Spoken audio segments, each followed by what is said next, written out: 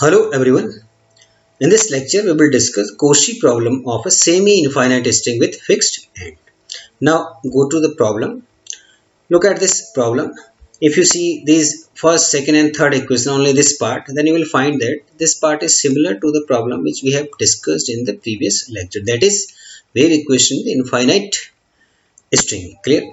Here look at if you look at this condition here in place of x belongs to r. This is given as x is greater than 0 less than infinity. It means this now x is x can take only values between 0 and infinity. It means this is a semi-infinite string infinite only from the right hand side but not from the left hand side. Another thing it is a fixed end from one side. It means one another condition is there. U0t whenever x equal to 0 so this displacement is 0 it means the one end is fixed. So this another additional condition is given here. That's why now if you see this this kind of equation then immediately you can predict that this is the problem of semi-infinite string with a fixed end. Clear? Now, for the solution of this problem, let's go back to the solution of the previous problem. Okay. So, look at this solution. If we take this solution as it is, then uh, whether this solution is applicable to the new uh, problem or not, let uh, check. Let's check. Look at this here. F this function is defined for x plus ct and here this is fx minus ct clear? Now go back to the problem. If you see this problem here this equation is defined for x for the values of x between 0 and infinity. It means this f and g these are defined for only positive values in the interval 0 to infinity. Clear? So if x is negative it means you cannot define fx. But look at this solution.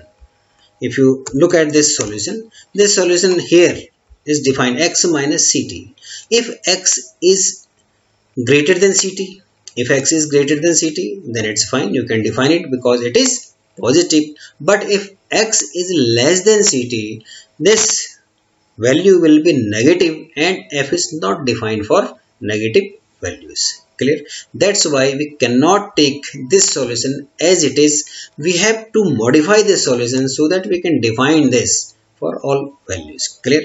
Main problem why we cannot take because when x is less than ct this will be negative. Clear? So how can we modify? Now check this. How can we find using this how can we find the solution of this semi-infinite string with fixed end so we can write this solution as uxt equal to phi x ct plus psi x minus ct where this phi psi is defined as this one and psi eta is defined as this one.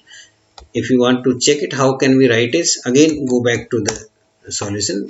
The solution was this one uxt equal to this and we can write from this part to this part we have written this is phi x plus ct this part whole this part from this part to this part we have assumed this is phi x plus ct and from this part to this part we have assumed this part equal to psi x minus ct that's why uxt is written as phi x plus ct plus psi x minus ct further phi x plus ct you know we have taken this as xi and this is we have taken eta so you can write this phi xi equal to simply replace x plus ct by xi. This will give for the half f of xi plus 1 by 2c 0 to xi g tau d tau similarly you can define psi eta. Clear? So this was the solution of the wave equation with infinite string. So we are taking this equation and we will modify this solution. Clear?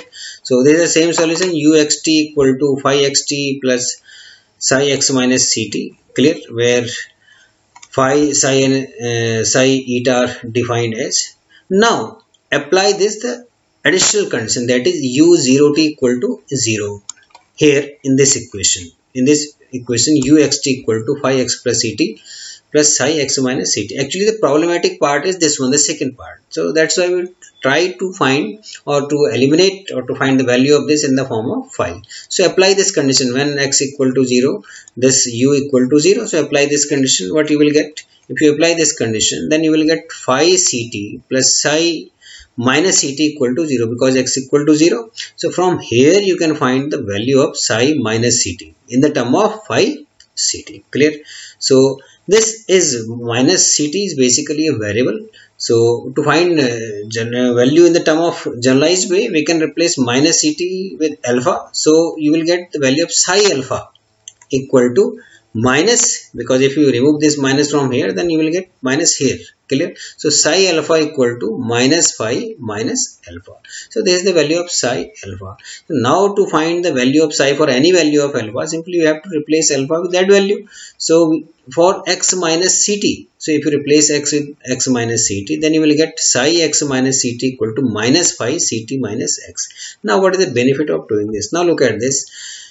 Here x minus t when x is less than ct this will be negative so we cannot define this psi. But here if you find the value of psi in the term of this uh, phi this will become ct minus x. It means when x is less than ct. Now this will be positive. So the problem is solved. So it's very simple. So for this semi-infinite string we have to actually find the value of this part psi x minus ct. And we have found the value of psi x minus ct as minus phi ct minus x clear?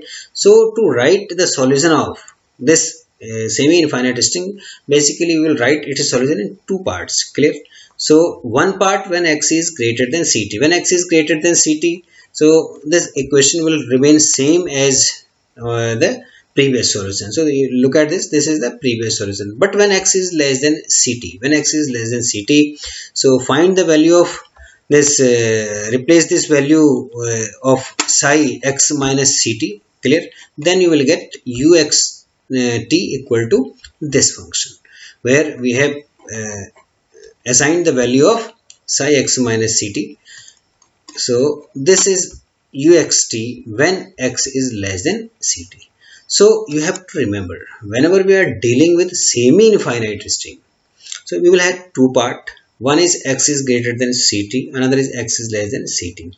Whenever x is greater than ct, the solution will remain same as the solution given in the uh, wave equation of infinite string. But when x is less than ct, we will try to eliminate this one part where x minus ct is given uh, was given and this you can uh, you cannot it is not it was not possible to define x minus ct then we have transformed this in this form and finally we have uxt in this form. Here this ct minus x is given because when x uh, less than ct this will remain positive clear?